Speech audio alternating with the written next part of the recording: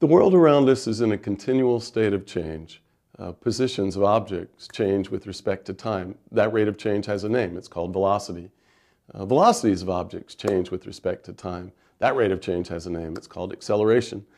The rate of change, uh, the, the, radius of a balloon changes uh, with respect to the amount of air that you've blown into the balloon. That rate of change doesn't have a name. And still, we might be interested in it. So you just have to say the whole phrase, the rate of change of the radius of the balloon with respect to the volume. Uh, the price of lobsters with respect changes with respect to the weight. The, um, the y coordinate, if you're given a function, y equals f of x, the y coordinate changes as a function with respect to x.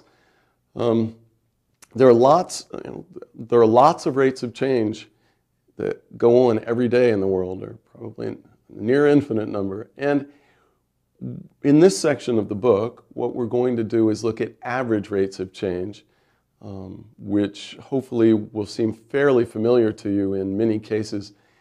Um, our goal is to start with average rates of change in this section and lead into a discussion of instantaneous rates of change, so an instantaneous velocity or instantaneous acceleration Instantaneous rates of change is, is what the whole subject of differential calculus is about.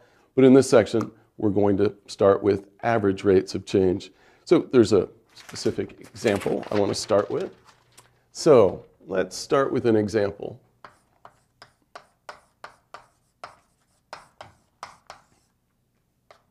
Suppose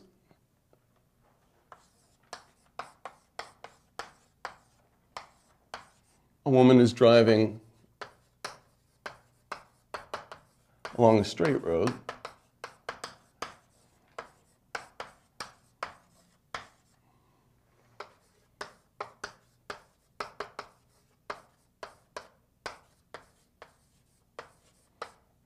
And is at mile marker 37 at noon. Uh, before I go on, mile markers. Many roads have mile markers alongside the road indicating how far you've come since some particular starting point of the road. So it's mile marker 37 at noon. Uh, suppose a woman is driving along a straight road as a mile marker. Then at what do I want? 12.02 p.m. Exactly.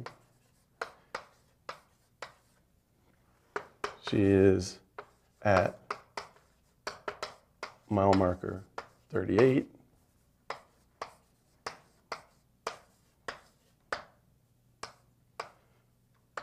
My question is, what was the velocity of the car?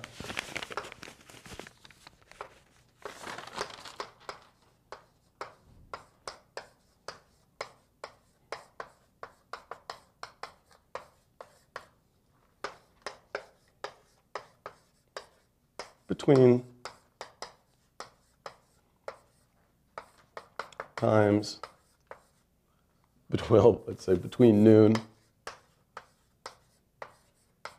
and 12.02 p.m.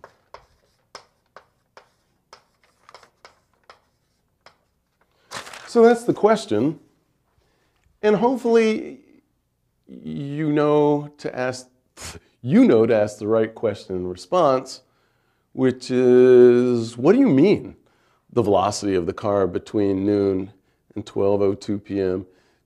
Do you mean something that you would read off of the speedometer, um, like so the velocity at, that you would observe if you were inside the car looking at the speedometer, or do you mean um, which would change, could change over the course of two minutes, or do you mean an average calculation of the velocity. So just, oh, you went one mile in two minutes, so your average velocity was a mile in two minutes, or let me write the actual calculation. So um, you could mean, what you could mean by, or what I could mean by that question is um, you take the change in position over the change in time.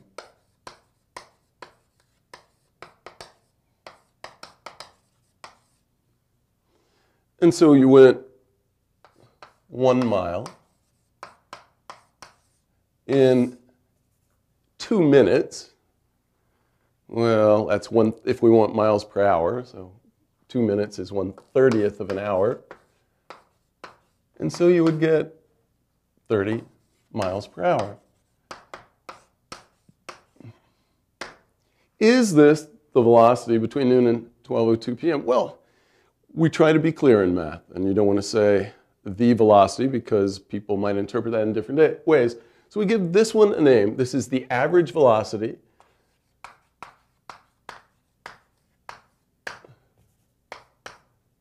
The average velocity of the car between noon and 12.02 p.m. So that's our definition of the average, velocity, uh, the average velocity, the change in position over the change in time. Um, I should make a little comment since I mentioned the speedometer in a car. Um, speed, there is a, when one speaks normally in English, frequently speed and velocity are used interchangeably. In math and in physics, it's important to make the distinction. Um, for motion in a straight line, like we're using, so on a straight road, the difference is whether you include um, uh, velocity could have a plus or minus sign. You pick one direction on the road to be the positive direction, the other direction to be the negative direction, and a positive velocity means you're moving in the positive direction, and a negative velocity means you're moving in the negative direction. Speed would just be the absolute value of the velocity. It's always positive. I'll say more about this later, but for right now, when I, when I talk about reading the velocity off of your speedometer, well, speedometer, you know, the name gives it away, it really measures speed. You need to pay attention to your direction. You need to like look out your windshield and pay attention to your direction to actually know your velocity, whether you're moving in the positive or negative direction. All right, so, um, right, the, the whole point of this example was this is an ambiguous question, and what you should say is what was the average velocity? Or you could ask for the other question once we know what instantaneous velocity means, then velocity is just short.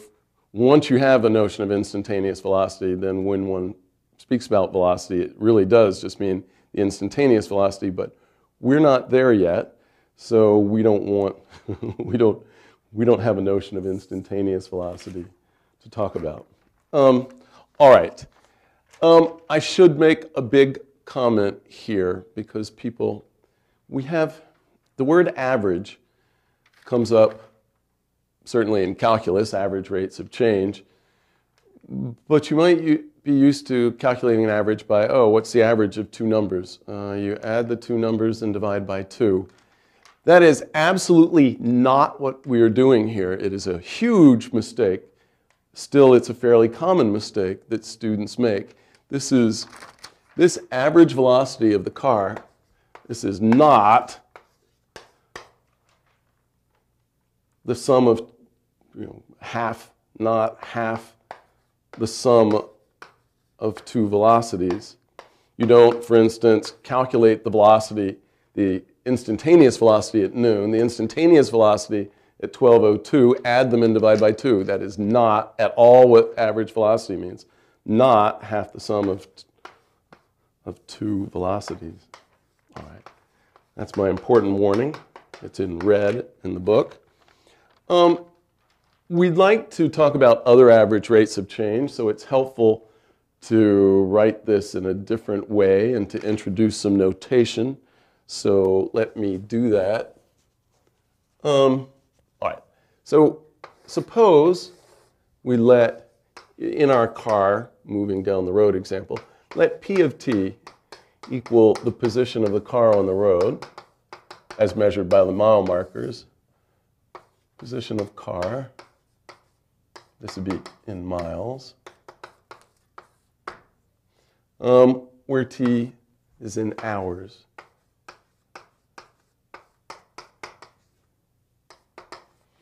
Um, we could say that it's actually that t is 12 at the start and, and 12 and 1 30th um, at the second time that we care about.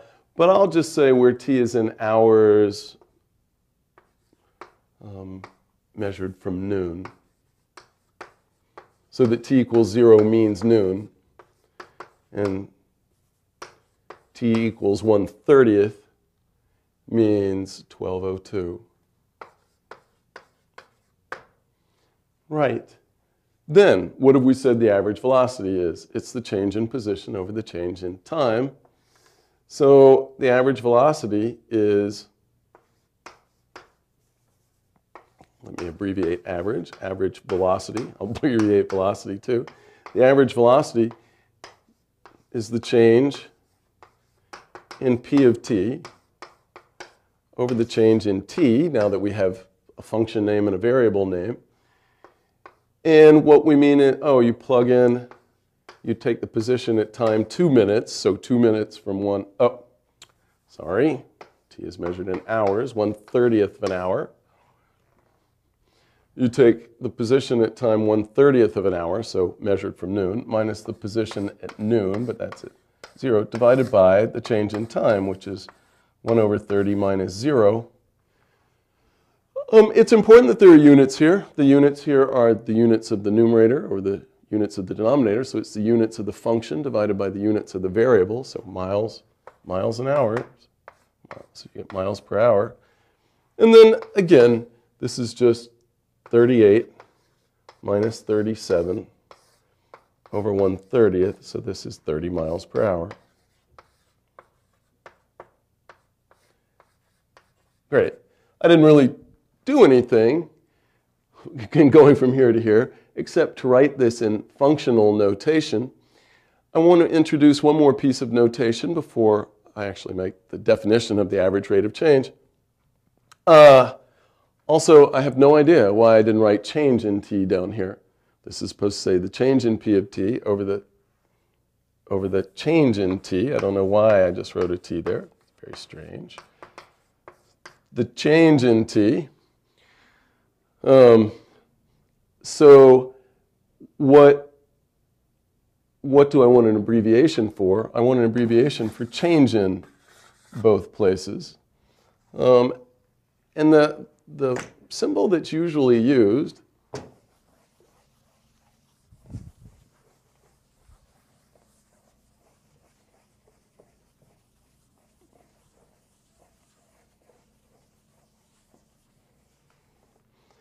is delta. So this is a, it's a triangle.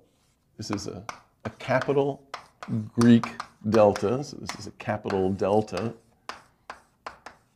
And it's used as an abbreviation for change in. This seems to have been an abbreviation for a long time. I don't know where it originated. And so what we would write is something like the average velocity is the change in position.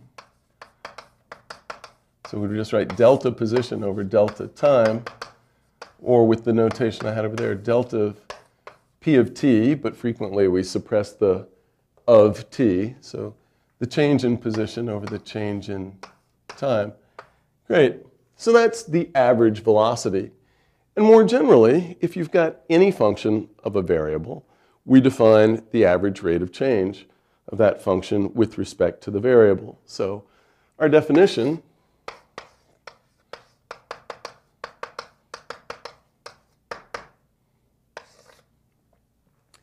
Suppose you have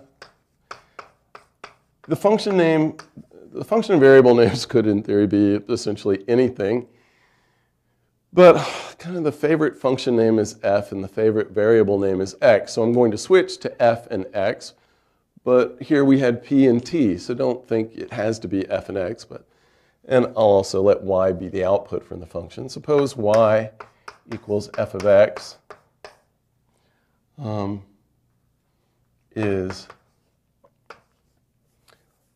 um, I'm going to say is, is a real function. And what I mean is that this variable, you give it real numbers.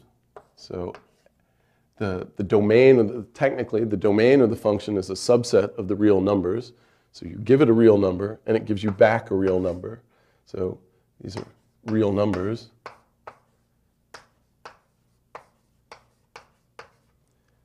Is a real function that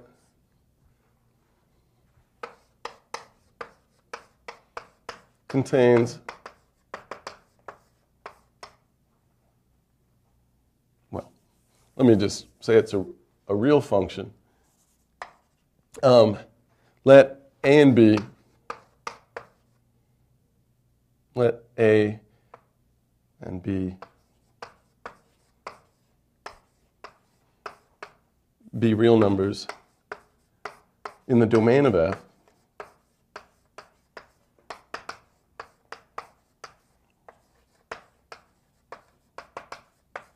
So you can evaluate F there. And we'll assume that A is the smaller one. So we, we don't want them to be equal, and I'll let A be the smaller one. Then,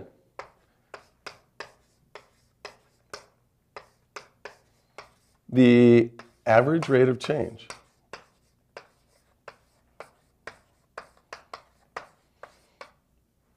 And we say average rate of change so much in this section and throughout calculus that uh, some people abbreviate it, and I will. I will abbreviate average rate of change as AROC, capital A-R-O-C. Uh, the average rate of change of F with respect to X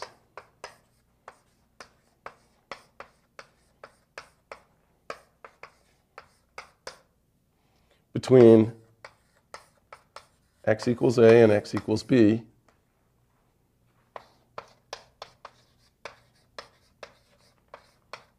We also say, or on the interval,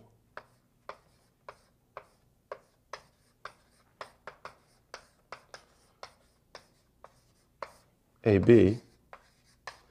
So we can say either one of those. And I should remind you, this notation for an interval, having the, the little, having the square brackets instead of the, the parentheses, um, means that you include the value of a and you include the value of b in the interval between x is, and it's, it's this. It's the change in the function over the change in the variable. So it's, you can write del, if you've really written y equals f of x, you can write it's the change in y over the change in x. Or you can write it's the change in f over the change in x. And what it means is you take f of b, you take how much f changes, so take f of b minus f of a, and you divide by how much x changes. And you divide by b minus a. Um, you can negate the numerator and denominator and see that it didn't matter which was bigger, which was smaller, a or b. It's a little weird to write it in this order when you know b is greater than a. Um, Algebraically, it's the same. It just looks funny. You'll get a negative. Well, you'll certainly have a negative in the denominator if, you write it like this. Um, the units here, it is important to notice that if f has units and x has units, then the units on the average rate of change are the f units divided by the x units. So that's important. So this is our general definition of the average rate of change of one function, of a function of a variable. And if the function is position, and the variable denotes time, then yeah, that's called the average velocity. Okay, so let's, let's do another car example. So let's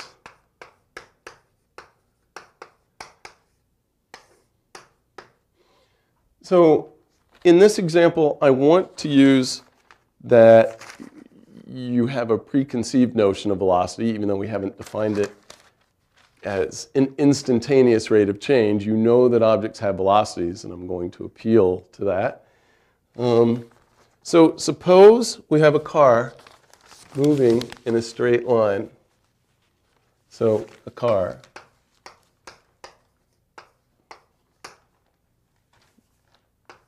We have, we have a car.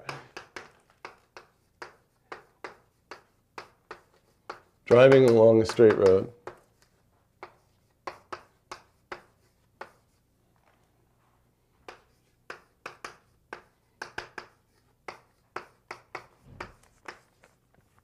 And I want to assume we know the following that um, at suppose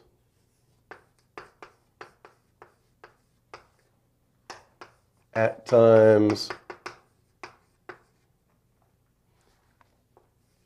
T equals 0, 1, and 5 hours.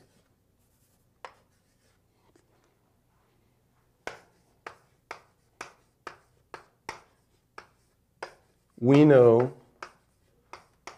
that the velocities are, are 30, 60, and 40 miles per hour, respectively.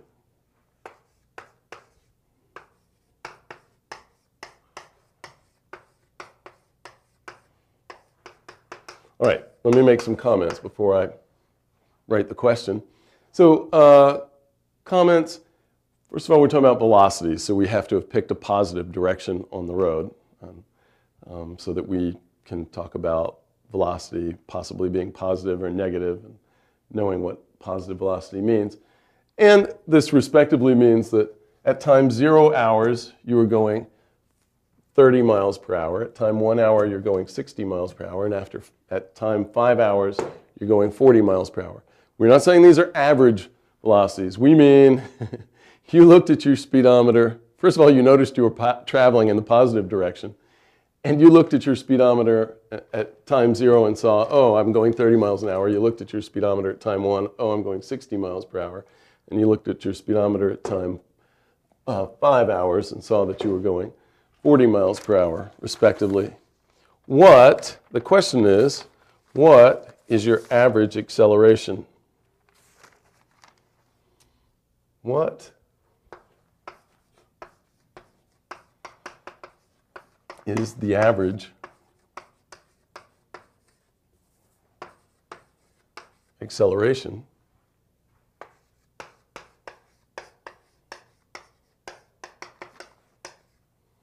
Between times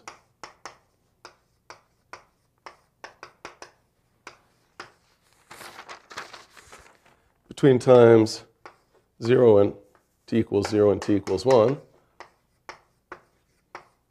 in hours.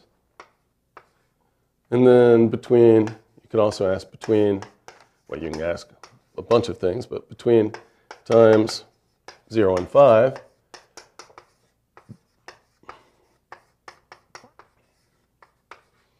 and between times 1 and 5.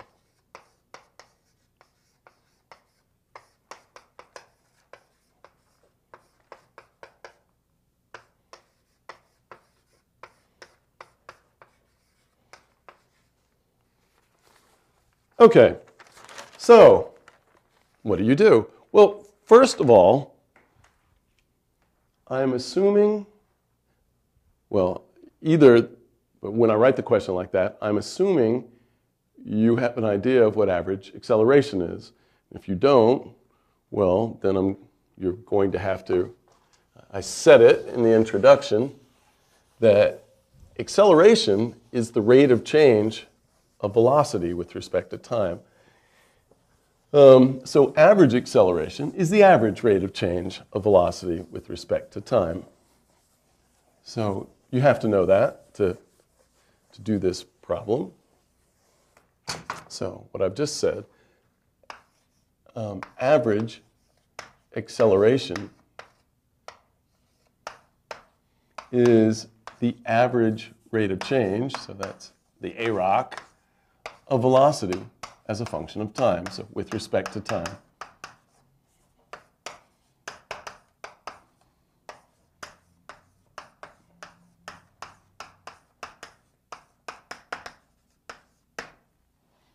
Okay, so let's call velocity v of t in, this is in miles per hour. I know I'm, I'm switching between writing miles per hour and mph. They both mean miles per hour. Um, and time is t in hours. So the average, so now we can calculate the average acceleration um, between t equals 0 and t equals 1. Well, it means the average rate of change of the velocity.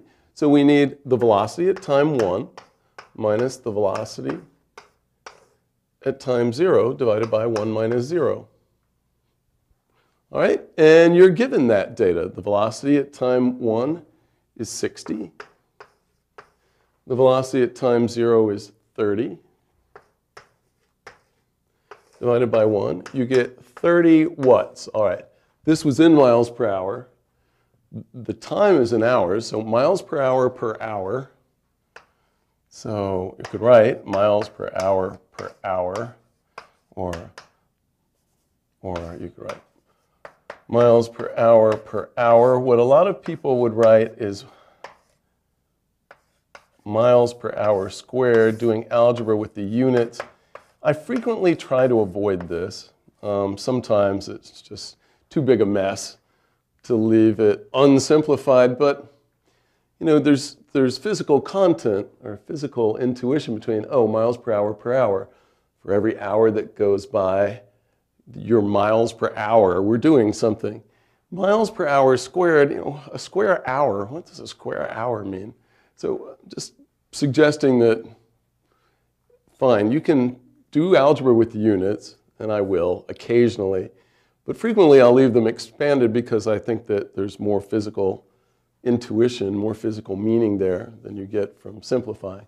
All right, so that's the between the average acceleration between time 0 and 1 between times 0 and 5, what do you get? Well, you just change this one to a 5.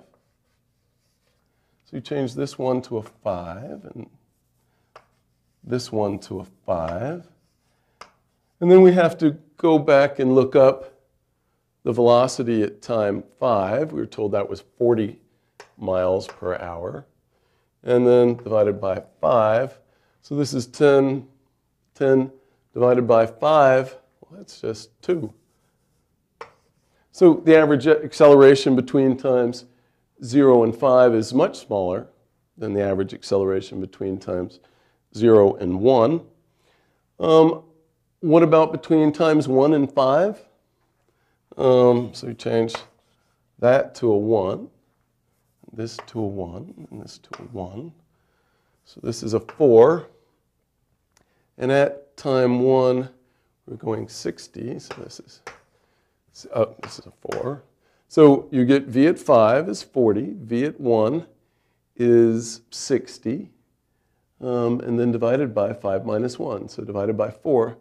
This is negative 20 divided by 4. So negative 5 miles per hour per hour. So you get a negative average acceleration. And you might, oh my God, what does that mean? It, it means you were decelerating on the average. You, um, that's all. The minus sign just means your, your, your velocity went, um, went down between times 1 and 5. Well, yeah, it did. It went from 60 to 40. So you decelerated. And that's what the minus sign is doing there. All right. I want, I want to emphasize that average rates of change come up in lots of everyday situations. And so I'm going to do a, a harder example right now, one that's algebraically harder, but the rate of change part of it's not any harder, translating the, the physical problem into a, um, a math problem is kind of the hard part, but it's not that difficult. But let's do it. I want to do a problem about areas of television sets. no, this is supposed to emphasize that average rates of change, or rates of change without the word average, come up in so many everyday situations that you don't even think about it frequently. But you would think about this if you were buying a new television. It's do you get more bang for your buck if you buy a bigger television? So I want to look at the following example.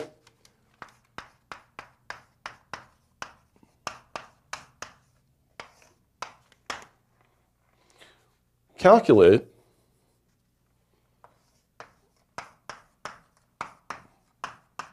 the average rate of change of a 16 by 9, it's a widescreen television,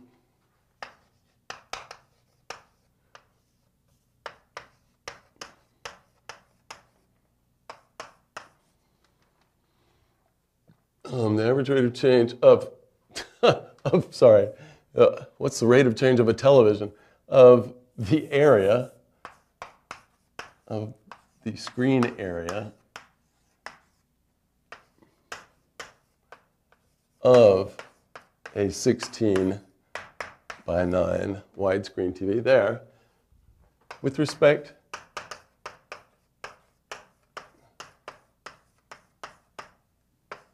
to the diagonal length. That's how they usually specify sizes of television sets. They just say, oh, it's 52 inches. Well, that means the diagonal length is 52 inches. What does that tell you the area is? Well, you have to know the aspect ratio of the television. Old ones were 4 by 3. More modern ones tend to be 16 by 9. With respect to the diagonal length, um, let's give, go ahead and give the diagonal length a, a name. Um, let's give the area a name with res uh, of the screen area A. Now, this is with respect to the diagonal length D between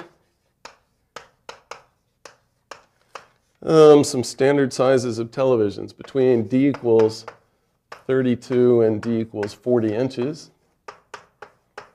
So both of those in inches. Or let's also look at between D equals 40 and D equals 52 inches.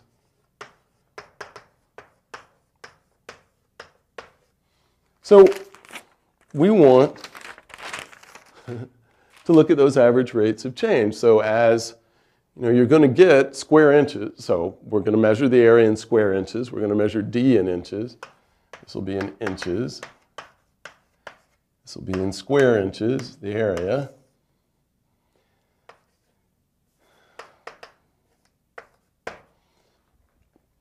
And you know, what we'd like to know is, okay, for every inch of diagonal that I go up, how many square inches of area do I gain? Um, so that's the kind of question you ask before buying a TV. Should I buy a bigger one, it's like, suppose I want to double the area. Do I need to double the, the diagonal? No, absolutely not. So let's, let's look at these average rates of change. Um, all right. This is the difficulty with this problem is writing a formula so that you can, for the area of the television in terms of the diagonal length, so, so that you can calculate anything. So like a lot of word problems, the first problem you encounter is how do you translate the words into a math problem? So this is my drawing of a 16 by 9 television screen. Being 16 by 9 means this side is 16 times something. while this side is 9 times whatever, so that their ratio is it's 16 by 9. But in the diagonal is here. And the question is, what's the area of that thing, of that rectangle, in terms of d? Well, in terms of x, it's easy. So a equals the area. In terms of x, it's just the length times the, the width, or the length times the height, if you're thinking, picturing TV. 9 times 16 is 144, and then you get times x times x. So we're getting 144 x squared. Um, right, just this times this. You get 9 times 16, that's 144 times x squared. So that's the area as a function of x. But we want it in terms of d, the diagonal. And so we have to get a relationship between these sides that have x's in them and this diagonal. Well, you shouldn't have to think too long to think of, ah, this is a right triangle. That's the hypotenuse, Pythagorean theorem. So Pythagorean theorem tells us, oh, 9x squared plus 16x quantity squared equals d squared. 9 squared is 81, so this is 81x squared. 16 squared is 256, so 256x squared equals d squared. 81 plus 256 is 337. So we get 337 x squared equals d squared.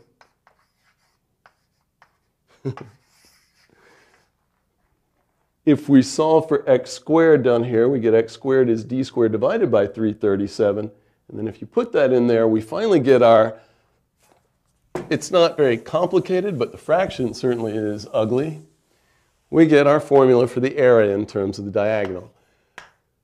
The area is one, so I'm taking the, let me, maybe I'll write the steps. We did this, but then because what we found in our last step was that, oh yeah, but x squared is d squared over 337. So what we get is a is proportional to d squared, Uh, but the proportionality constant is somewhat unattractive. It's 144 over 337 times d squared. Phew. That's the hard part of the problem, translating the words into math or you know, getting the area as a function of the diagonal. But once you've done that, the average rate of change calculation is certainly easy or easy if you've got a calculator, because that nasty fraction is going to make things pretty nasty. The average rate of change, uh, let me write AROC,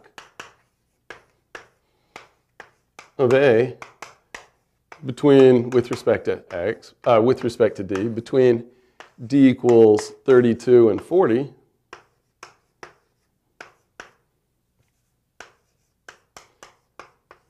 So remember, A is in square inches, D is in inches. So this is A at 40 minus A at 32 over 40 minus 32. So we're using this formula. Forget, you know, forget the x. We're not using x at all. These, are, these numbers are going in for d. So we get, well, you can pull out the whole, well, let me, I'll put it in, but then I'll factor it out. You get 144 over 337 times 40 squared minus 144 over 337 times 32 squared all over 8. So you get you could simplify this and do part of it by hand if you really wanted to. Because you get, so this times, you can factor out 144 over 337 and get 40, 40 squared minus 32 squared over 8. But you could do this part by hand, but dealing with this, I'm just going to cheat. If I had a calculator, maybe I'd use it. However, what's really true is I wrote down the answers ahead of time. Um, that if you actually get a decimal for this, you get that it's approximately 30.7656 square inches per inch. Right. This is, understand, I'm not canceling those and getting inches. Why? Because it's the average rate of change of area with respect to a diagonal length. So this means you get approximately 30.7658 square inches of area for every inch of diagonal. Yeah, you could cancel an inch and just write inches, but you would leave, you would eliminate a good bit of intuitive content. Um, so, and then you calculate between d equals 40 and d equals 52. Well, your calculation is, you set it up the same. The numbers you plug in are different. But it, this, that average rate of change, that AROC, on that interval is you would take, it's the change in A over the change in D, just like it was before, but the change in A now, uh, and I'll go ahead and factor out the 144 over 337, which we did at the end over there, but you get A evaluated at 52, so you get a 52 squared times this, but I factored it out, minus A evaluated at 40, you get 40 squared times this, but I factored it out, all over 52 minus 40, so that's 12. And if you calculate this, you get approximately 39.3116 square inches per inch. So yeah, when you're in the bigger sizes, from between 40 and 52 inches, the average rate of change of the, of the area of the television is at um, as a function of the diagonal is actually bigger. So you're getting, for each inch, for a bigger television, for each inch you're gaining more area than you gain for each inch that you add to a smaller television. So it means you want as big a TV as you can get um, within your budget. All right, so that's supposed to impress upon you that rates of change come up in all in various contexts that occur around the house, um, that occur in everyday life. Let's look at let's look at a more familiar mathematical example. It will seem simple compared to the last one, but then I want to look at it graphically too to make a to make a point.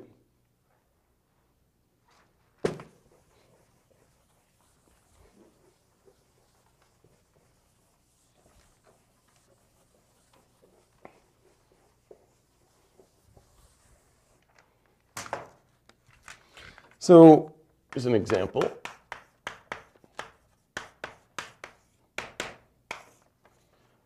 Let y equal f of x equal 4 minus x squared. So a nice simple function. We don't, we're not given a lot of words, no physical situation, no word problem to translate into a math problem. You're just given this function. Find the average rate of change of y with respect to x, the AROC.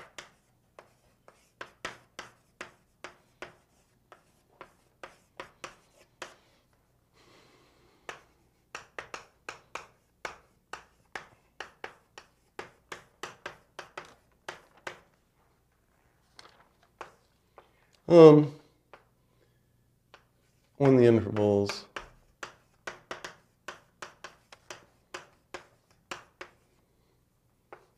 1, 2, and 1, 1.5. Okay. Well, these calculations are certainly nicer than the calculations we had to do in the last example. The problem seems very simple, but it's the geometric point that I want to make after this that's important. Also, it is nice to know that if you're just handed a, mathematical function in symbols and algebraic terms, that the problem is relatively easy. all this is asking for, this average rate of change, is the change in y over the change in x. Um, so that's, you can also say the change in f over the change in x. On 1, 2, it's f of 2 minus f of 1 over 2 minus 1. f of 2 is 0. f of 1, um, so f, f of 1 is 3 over 2 minus 1, that's 1. So we get minus 3. There are no units present, so you just leave it as this raw number, minus 3. So this is on 1, 2, on the interval from 1 to 2. And the AROC on the interval from 1 to 1.5 isn't much worse, although um, change in y over the change in x, so same as the change in f over the change in x. It is f at 1.5 minus f at 1 over 1.5 minus 1 f at 1.5, um, f at 1.5 is 2 point, so 4 minus 2.25. Um, so we get a 1.75 minus, minus f at 1, which is 3, over 0.5. Dividing by 0.5 is the same as multiplying by 2, so this is what I'm saying is this is 2 times 1.75 minus 3. I'm just, I just like to avoid calculators as much as possible. Um, 2 times this, this is 3.5 minus 6, so minus 2.5. So those are the average rates of change, minus 3 and minus 2.5. You might ask, well, then what's the physical meaning of those? Well, there's not a physical problem here, so there's, you know, the, if you got this from a physical problem, then you might be able to give some physical meaning here. But what we can do, without any physical problem around, is at least give geometric meaning to the minus 3 and the minus 2.5. So let's, let's see what this has to do with anything geometric.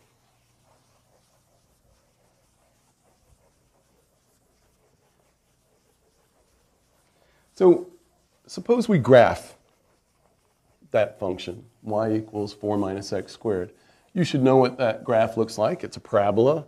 It curves downward. Its vertex is, at, is on the y-axis at where y is 4. So without worrying too much about getting the scale completely right, it looks roughly like this. So this is supposed to be the graph of y equals 4 minus x squared. It'll hit the x-axis um, at x equals 2, certainly over here at x equals minus 2, but we're not worried about that part. In fact, I might as well erase it, but I guess I'll leave it there, just so it looks like I've got a whole parabola. What if you wanted to picture the average rates of change that we just calculated, so remember we just calculated the average rates of change of y with respect to x on 1, 2, and the average rate of change on the interval from 1 to 1.5, how, how do you do it? Well, hopefully, since we wrote in both cases, it's the change in y over the change in x, change in y. This would ring a bell. Change in y over the change in x. You should have seen that in high school when you were looking at slopes of lines. Oh, the change in the y-coordinate or the change in the x-coordinate. So, okay, maybe we can write these rates of changes, these rates of, these rates of change, as slopes of some lines that have something to do with this graph. Well, yeah, you don't have to think terribly long to figure out what to do. If if, if you look at when, when x is 1, then up here you get y is 3. So you have the point 1, 3 on the graph. And then you have the point when x is 2. Why am I using 1 and 2?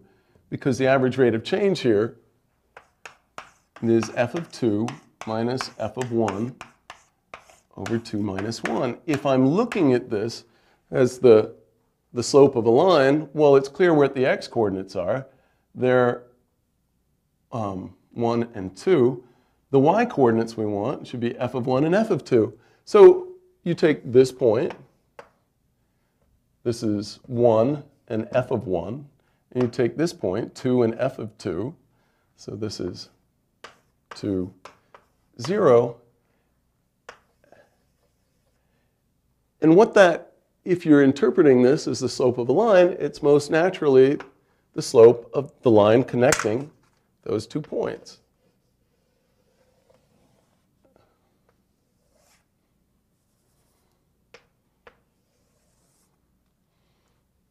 And this, what we calculated before, our calculation of the, of the uh, average rate of change between x equals 1 and x equals 2, we got that there was 3. It means that this slope is minus 3. And if you use the x coordinates 1 and 1.5, then instead you'd be taking this point at 1, f of 1, and this point at 1.5, f at 1.5. This would be 1.5, f of 1.5. And you'd be calculating the slope of the line connecting those two points. And our calculation from before told us that that slope is minus that slope is minus 2 point, uh, minus 2.5.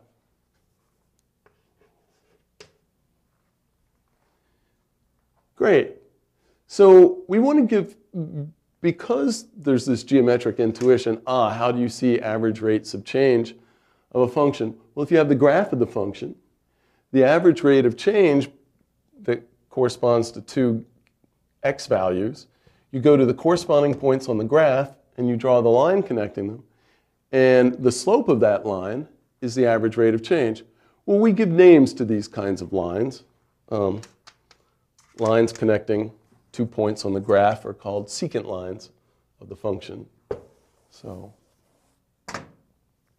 so it's a definition, a line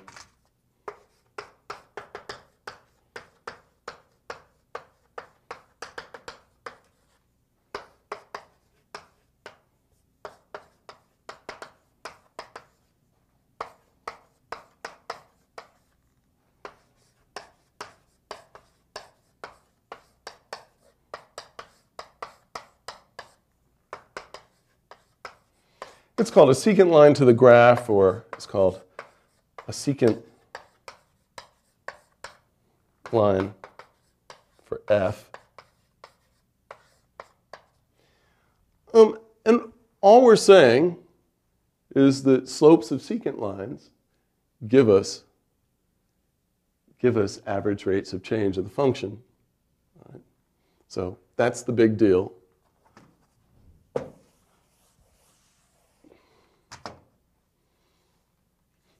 Slope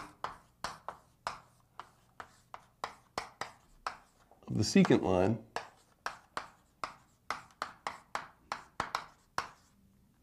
slope of the secant line between, well, secant lines on the graph would go between A and f of A.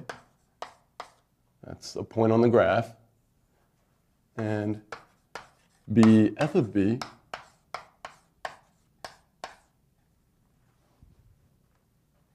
where b is unequal to a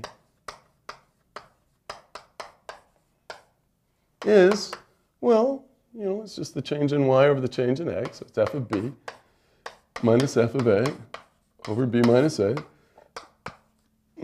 And that's equal, which equals the average rate of change.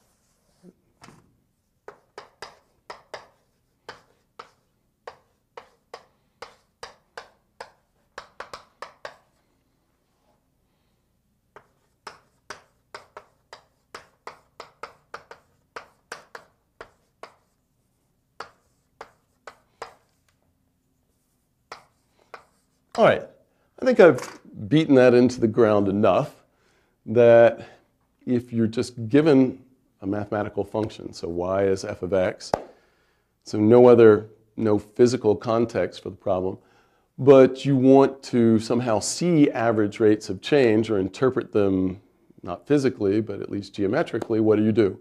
You graph the, you graph the function, and then the average rates of change, the average rates of change are just the slopes of the corresponding secant lines. So that's nice. Um, all right, I'd like to do two more examples um, fairly quickly. Well, one example sounds complicated, looks complicated. You'd need a calculator to get an answer, but I just want to emphasize again that rates of change come up in lots of different contexts. Then I want to say, again, maybe more carefully, what average velocity, average acceleration, um, and average speed mean. And then, yeah, I want to look at a more complicated example. But first, let me do a quick, though messy, example of, um, of blowing up a balloon. I mentioned it in the introduction. So this is not an example of drawing secant lines or looking at secant lines. This is just an example of another average rate of change that comes up in everyday life. You're blowing up a balloon. Typically, you can you exhale some volume of air and you're trying to increase the radius of a balloon. And so I'm going to assume we have a balloon. We have a balloon.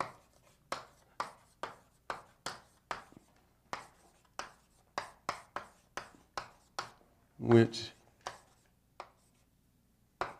stays perfectly spherical while being inflated. This is an ideal assumption, which stays perfectly spherical.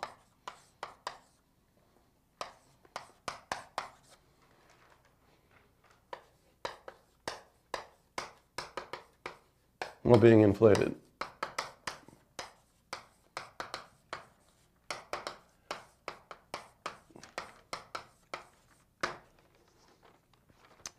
What is the average rate of change, the AROC, of the radius of the balloon?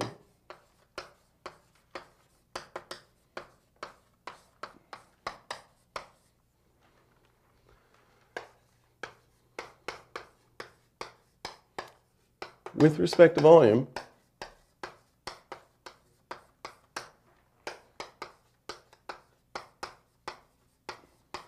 as the volume goes from 20 cubic inches to 30 cubic inches.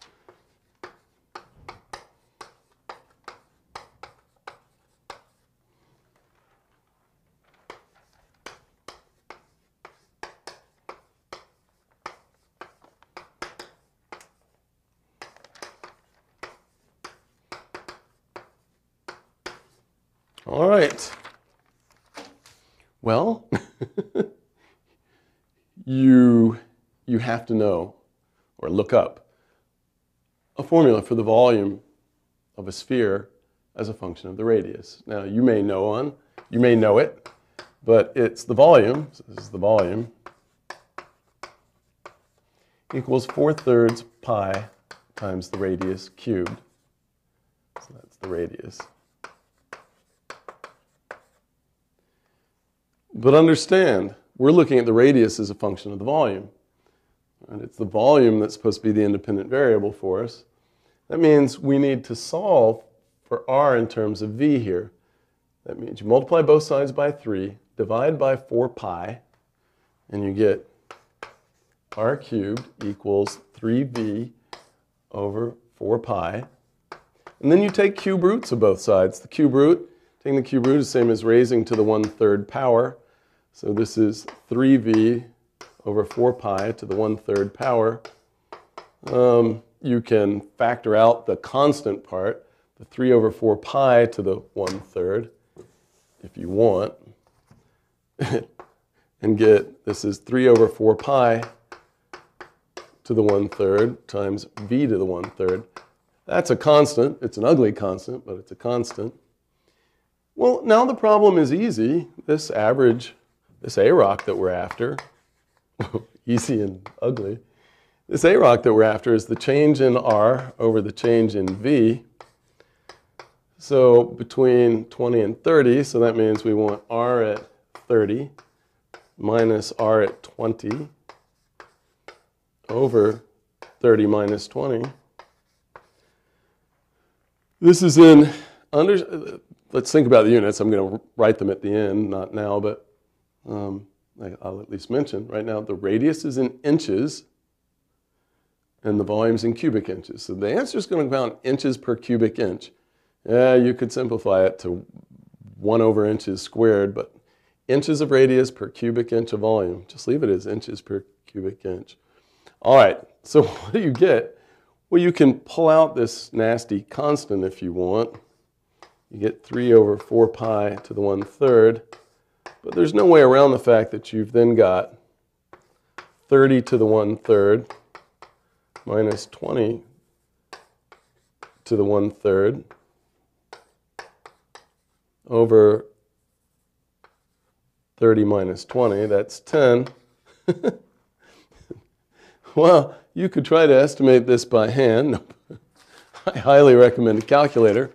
And what this comes out to be is 0.0243683 inches per cubic inch.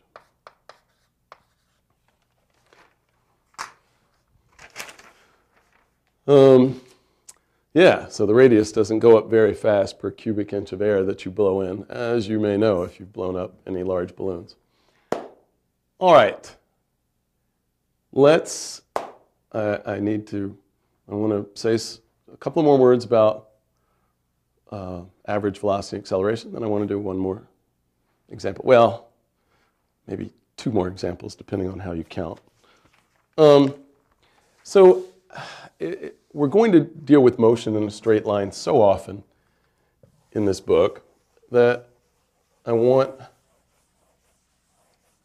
to say more carefully what we mean by position and then average velocity and average acceleration and average speed, which I haven't really, which I haven't talked about.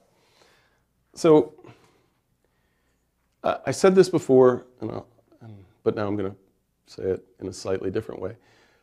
When, when I talked about a car moving in a, in a, along a straight road, I said pick one direction to be positive.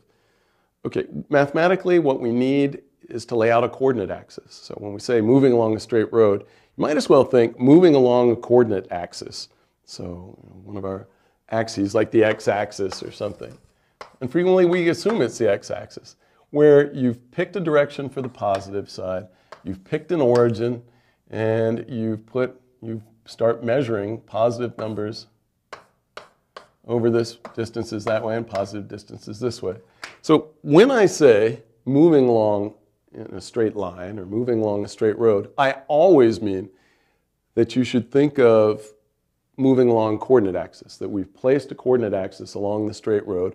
We've indicated a position as the origin, as the zero position, and we've indicated the positive direction and the negative direction. And then position just means the coordinate on the axis. So you know, if you've called it the x-axis, it means it's x-coordinate, which could be positive or negative. Positive Positive position then would just mean some, some position over here. Negative position would mean some position over there. So that's what we mean by position when we're talking about motion in a straight line. Um, then average velocity is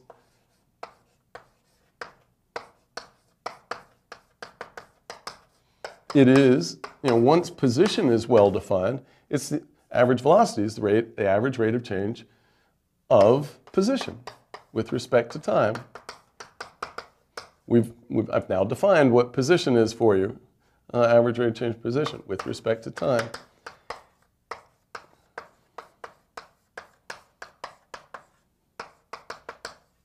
Average acceleration. Now, I'll say again, this requires you to have some, somebody has to hand you velocities or you have some preconceived notion of velocity. Other than average velocity. So it's the average rate of change of velocity. And we haven't defined instantaneous velocity because that comes up later in the book. But assuming you have a preconceived notion of it, or that you're just happy to work with it, if somebody says, and it had these velocities, then this is what you get. The average rate of change of velocity with respect to time.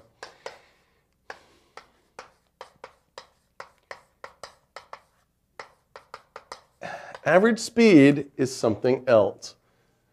That it's not the same as average velocity. Average speed is it's the average rate of change, not of position, it's the average rate of change of distance traveled.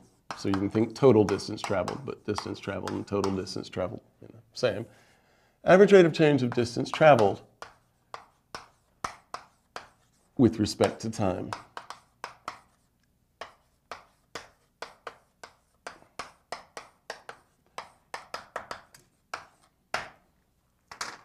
So I want to give an example that emphasizes the difference between average speed and average velocity.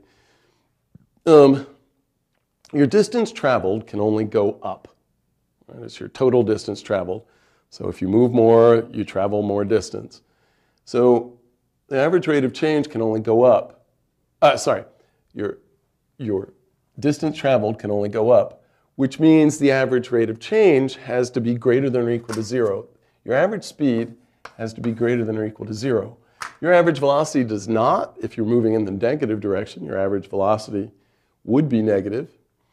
Um, but let me give you a more startling example of the difference between average speed and average velocity. Suppose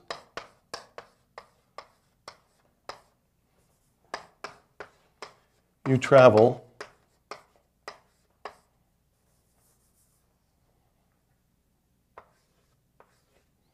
sixty miles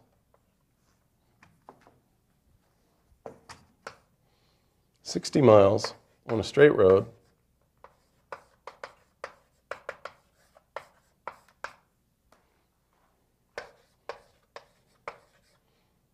from point A to point B.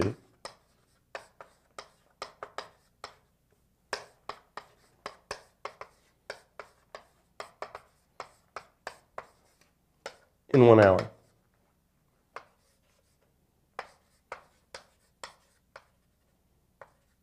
And then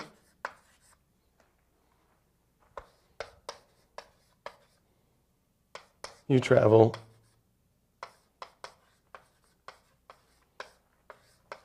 from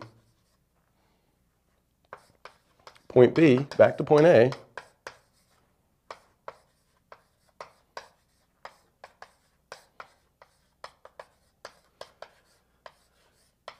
in, an, in another hour.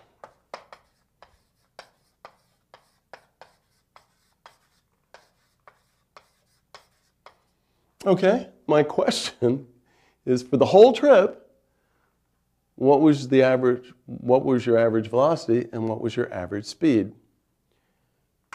Well, so for the whole trip, well, for the average velocity, you take the change in position divided by the change in time. But for the whole trip, you went from point A to point B, and then from point B back to point A. Your final position and your initial position are the same. Your change in position is zero. so this, your average velocity is, is zero divided by two hours, but who cares? Um, but who cares? You get zero miles per hour because you began and ended at the same place. So your net change in position is zero. But your speed, your average speed, you traveled 120 miles. Right? This is the change in distance traveled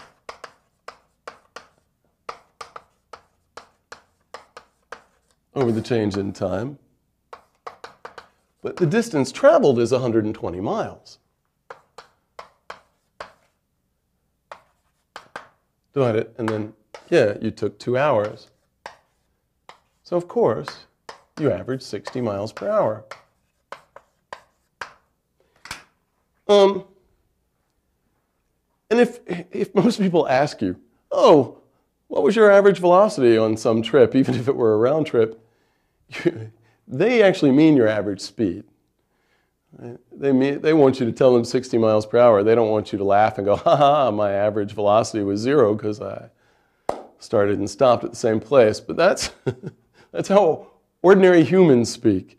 In, in calculus class, um, in physics classes, you need to be you need to distinguish between velocity and speed.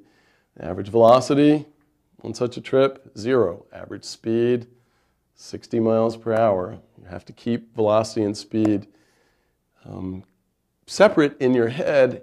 The distinction is extremely important if you turn around. If, if the object is always moving in what you're calling the positive direction, there's not going to be a difference. It's when you start turning around that there's a big difference.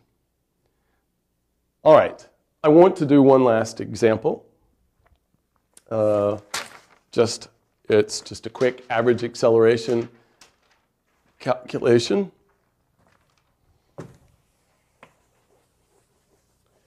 Three times, that makes it less quick, but still, velocity and acceleration are just fundamental concepts that calculus was developed to handle. So it is kind of nice to do more velocity and acceleration examples. So suppose a car. Suppose the position of a car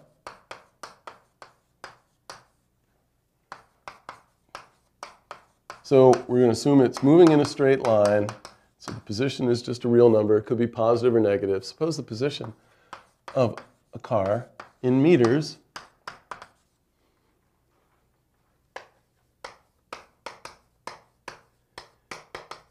is given by P of t equals minus 1.5 t squared plus 9t plus 5, where t is in seconds.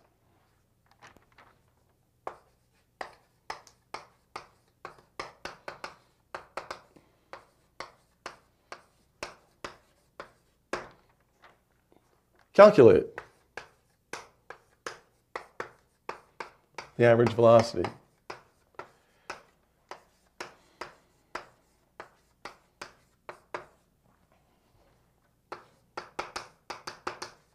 Velocities on the intervals.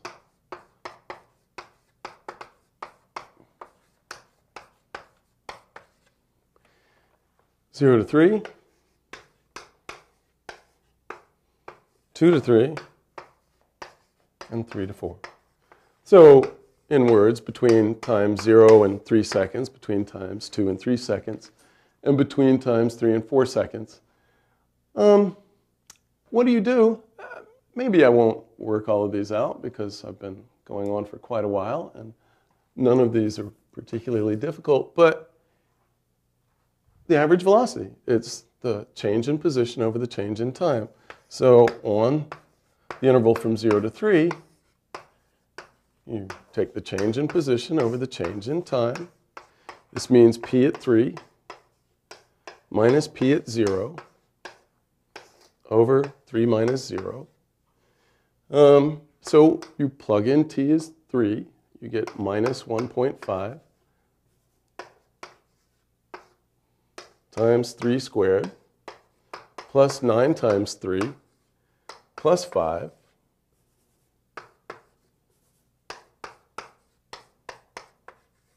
minus what you get at 0, which is just 5,